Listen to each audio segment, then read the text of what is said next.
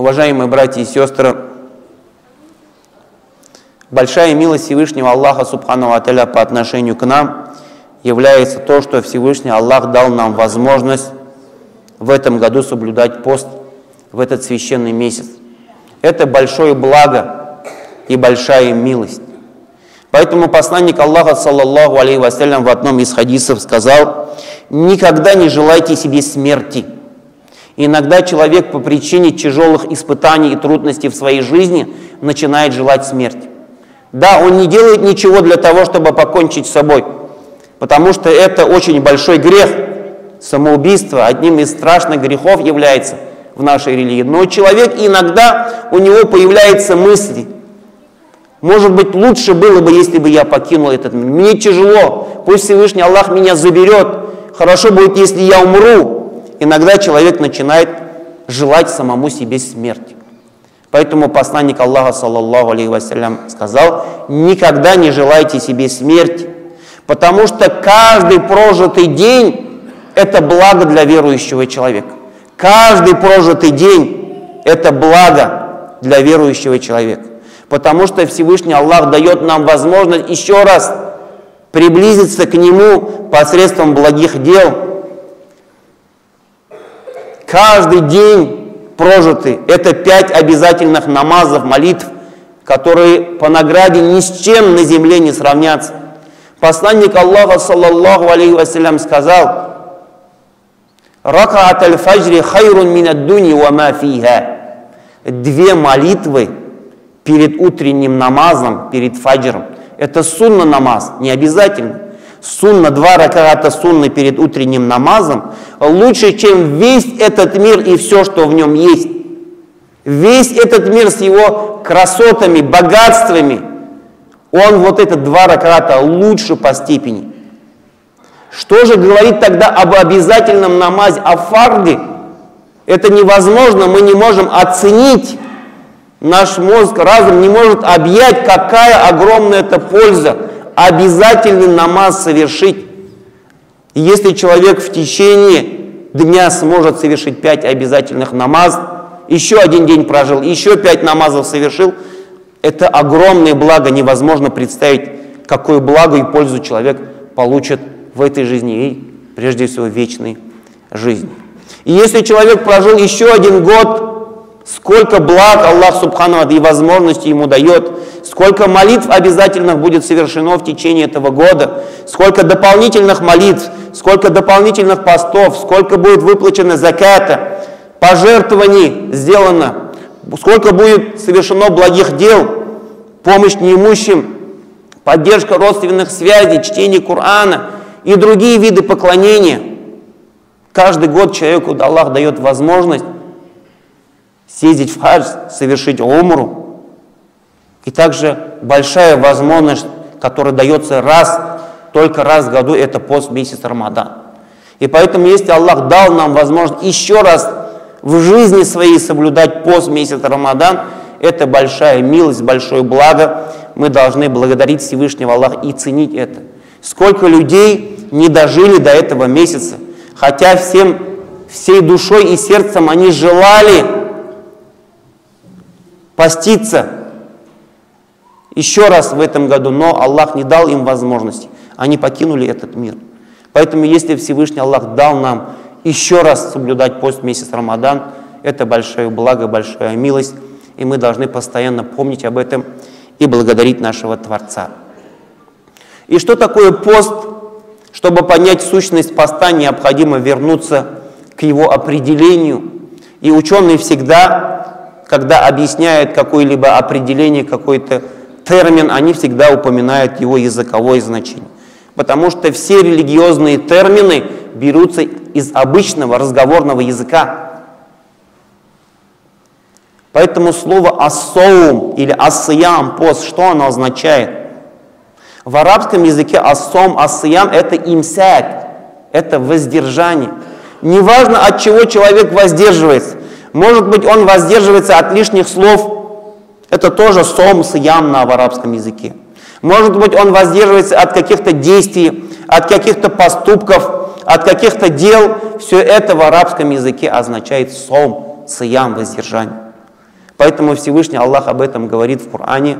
Марьям, а, мать Аиса, алейхиссалям, говорит в Коране, «Инни надарту лир-рахмани саума» «Я дала обед для милостивого, то, что буду соблюдать соум».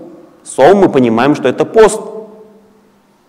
Но в этом аяте имеется в виду под словом соум не пост, который мы понимаем в шариатском термине. Под словом пост имеется в виду воздержание. Я дала обед воздержания своему Господу и Творцу. И дальше продолжение этого аята объясняет, что за, что за воздержание это. «Фалян укаллима льоума инсия». Поэтому я сегодня ни с кем из людей не буду разговаривать. Поэтому в этом аяте под словом «сом» имеется воздержание от речи, от слов. Дала обед, что ни с кем она не будет сегодня разговаривать из людей. Что же касается шариатского термина «сом сиям», ученые дают ему такое определение. Асом хуа имсак – это воздержание. Но воздержание от чего? Аниль муфтират – от того, что нарушает пост. От того, что пост делает недействительным. И то, что делает пост недействительным, основные три вещи – это когда человек употребляет пищу, пьет воду или напитки какие-либо, или совершает близость. Вот это основные вещи, в котором нет разногласий. И также есть другие вещи, которых ученые некоторые, большинство едины в том, что это нарушает пост. В некоторых есть разногласия. Некоторые ученые говорят, это нарушает пост, это нельзя делать во время поста, другие дозволяют это. Это подробно написано в книгах по фиху, разъясняется. Поэтому определение аниль муфтират, воздержание от того, что нарушает пост – является более лучшим. То есть не надо упоминать каждое то, что нарушает. Все, что ты считаешь, то, что это нарушает пост, и то, что объяснили ученые, от этих вещей мы должны воздерживаться. И сколько мы должны воздерживаться? Какое время? Минтулю аль-фаджр или воздержание от появления рассвета до захода солнца. Поэтому начало воздержания появления рассвета. Не надо ждать, когда солнце начнет восходить или когда станет светло, рассвет уже распространится повсюду и начнет светать. Нет, тулю аль-фаджр – это появление рассвета. Если на горизонте появилась белизна, которая начала распространяться на горизонте, несмотря на то, что вокруг еще темнота кромешная, на горизонте появился рассвет, полосочка рассвета начала распространяться. Все, с этого момента нельзя употреблять то, что нарушает пост. От всего этого мы должны воздерживаться. И продолжается до захода солнца. До захода солнца. Вот это пост. Это пост. Поэтому некоторые люди могут сказать, кто-то, если из людей скажет, я буду пост соблюдать полдня или несколько часов, то и этот пост не является постом в шариатском значении, потому что пост это от рассвета, от появления рассвета до захода солнца. И если человек совершит то, что нарушает пост, хотя бы за минуту до захода солнца, до исчезновения диска за горизонтом, за минуту, то его пост не принимается, он делается, становится недействительным, и человек этот день должен будет потом возместить. Поэтому воздержание должно быть от рассвета появления до захода солнца, биньяти таабуд с намерением поклонения. Иногда человек воздерживается от всего того, что нарушает пост, от рассвета до захода солнца, но при этом у него нет намерений. Может, он соблюдает пост только для того, чтобы похудеть, или для, для диеты, или у человека, или просто нет желания есть и пить. Вот нет у него желания, не было до захода солнца. Солнце село, у него появилось желание. Это не пост. Или человек не имел возможности, он хочет есть, пить, но нет у него возможности, он не, не находит ничего, чтобы поесть и покушать от рассвета до захода солнца, после того, как солнце село, он, начал, он нашел, что поесть, что попить, это не пост, он не соблюдал пост, потому что у него намерений не было. Поэтому наше намерение должно быть довольство Аллаха Субхану Тааля, прежде всего поклонение. Поэтому некоторые, когда начинают соблюдать пост, заходят в пост с таким намерением. Особенно это у нас э, среди э, мусульман, которые еще далеки от религии у нас, э, которые не практикуют еще. Э, многие из них, несмотря на то, что не совершают намаз и не ходят в мечеть, они соблюдают все же пост. И некоторые из них заходят в пост с таким намерением, чтобы немножко сбросить вес, чтобы польза для здоровья была с таким намерением. Они заходят пост и соблюдают пост некоторые в течение всего месяца Рамадан. Такой пост не принимается. Поэтому самое главное, основное намерение человека должно быть довольство Аллаха. Получить его довольство, заслужить его награду, приблизиться к нему. Это должно быть главным и основным намерением. И если это человек является главным основным намерением, то не повредит ему его посту второстепенные намерения. Да, кроме этого он еще намеревается и сбросить вес, и чтобы пользу и для здоровья получить, и что-то другие какие-то пользы – мирские, может быть, есть в этом, но главное, основное намерение должно быть это довольство Всевышнего Аллаха. И польза мудрость поста, их очень много. Одним из основных мудростей поста является то, что пост нас объединяет. Кроме месяца Рамадана, Всевышний Аллах нам также в течение всего года дает возможность соблюдать пост. Можно в понедельник соблюдать пост, можно в четверг, можно в белые, белые ночи 13, 14, 15, середина месяца. Есть другие посты дополнительные и сунна, но эти посты кто-то соблюдает, кто-то не соблюдает. И большинство обычно не соблюдает. Малая часть, кто старается в течение года каждую сунну выполнять. Но когда наступает месяц Рамадан, все мусульмане на земле, неважно, где они живут, здесь или в Африке, или в Австралии, вся община, как единая семья, как единый организм, он начинает соблюдать пост. Все мусульмане, которые живут, более миллиарда мусульман на земле, они все дружно начинают соблюдать пост месяц Рамадан. Это объединение. Пост объединяет нашу уму, общину, делает ее крепкой, сильной, единой. И кроме поста, также в этот месяц мы собираемся вместе в мечетях для совершения молитвы дополнительных таравих или тахаджуд. Это тоже нас объединяет. Если в обычный день мы посмотрим, сколько людей собирается на ночном намаз, то не так много, но в месяц Рамадан мечети во всем мире наполняются молящимися. Что привело их? Что их объединило? Это месяц Рамадан объединяет нас в молитвах, дополнительно в таравихах. И также вместе мы разговляемся, собираемся в мечети, чтобы вместе разговляться. Все это нас объединяет пост месяц Рамадан.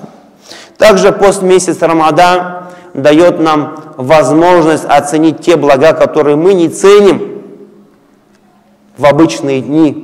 Человек в обычные дни мечтает о чем-то большом, чтобы увеличить свой капитал, чтобы там построить дом, купить хорошую машину, что-то еще. О каких-то больших вещах человек мечтает, желает и не ценит то, что у него есть кусок хлеба на столе, что у него есть возможность что-то поесть, что-то попить. Он не ценит, он считает, что это что-то незначительное, неважное.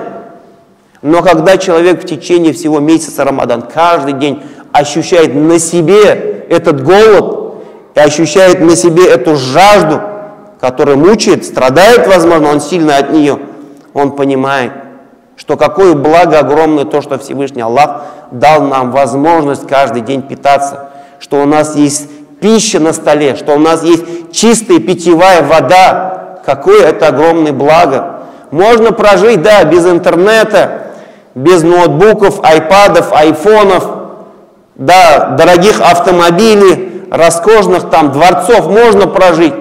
Но какова бы наша была жизнь на земле, если бы не было пищи, которую мы каждый день вкушаем, если бы не было чистой воды попить.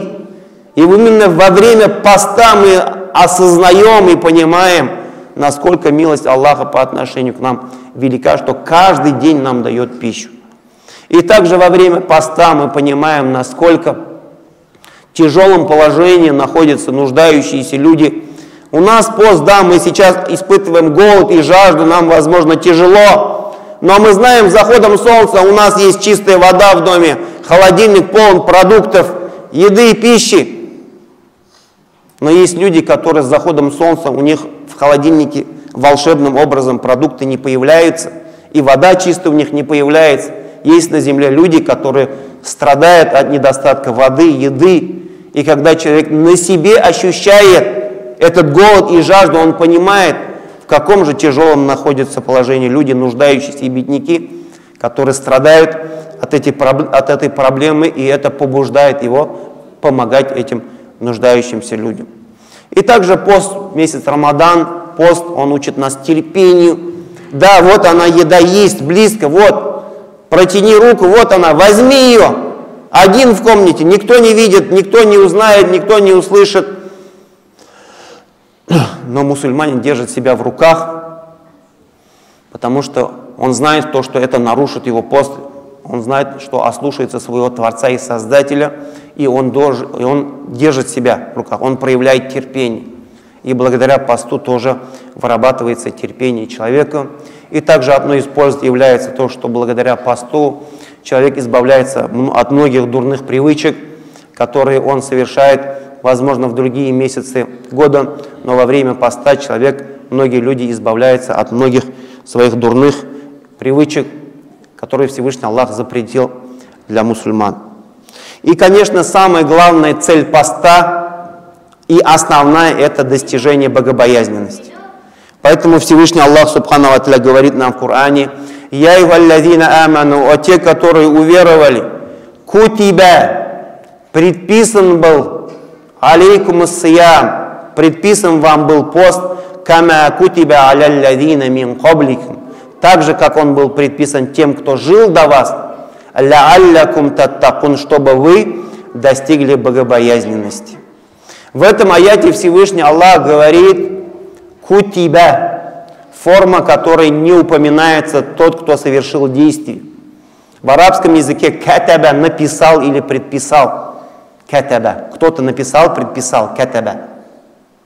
А кутиба было предписано, было написано. Или другой глагол дараба, ударил.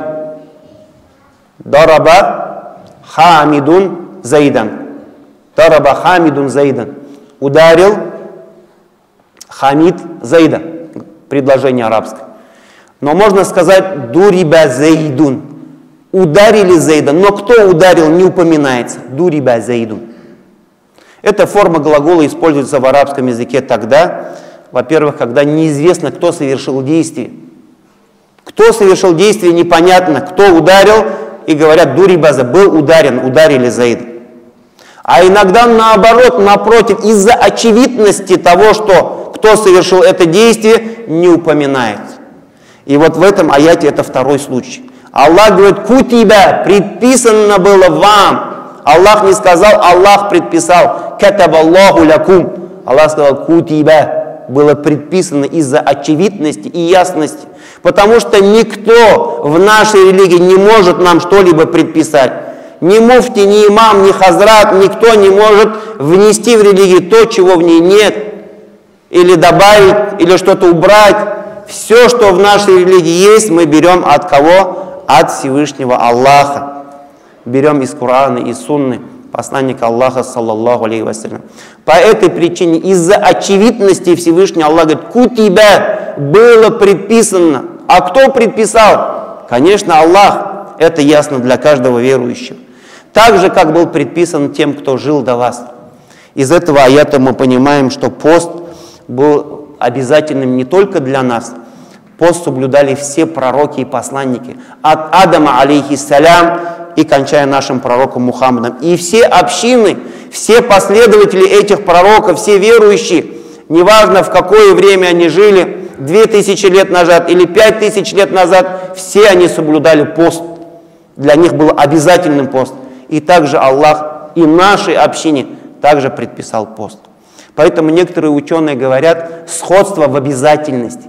Им было обязательно, и нам Аллах вменил в обязательность. Хотя, возможно, различия в посте могут быть разные.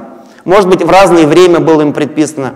Э, количество дней, может быть, отличалось, но в самой сущности сам пост был обязательным. Был у них обязательный пост в их религии, в их шариате. Был обязательным для них пост.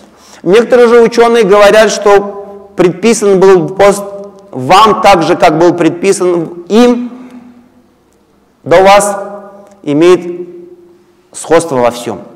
То есть им тоже было в месяц Рамадан предписано. Им тоже количество дней такое же было. И форма поста тоже такое же. От рассвета до захода солнца и те же, от тех же вещей они воздерживались. Все одинаково было. Некоторые ученые говорят, предписан был вам так же, как предписан был, был тем, кто жил до вас. Абсолютно один в один тот же пост. Но по происшествии времени было это утеряно, искажено, добавлено, убавлено. И поэтому, если мы сейчас посмотрим, то пост мусульман, христиан, иудеев, они различают и количество дней, и форму соблюдения поста, и в разное время.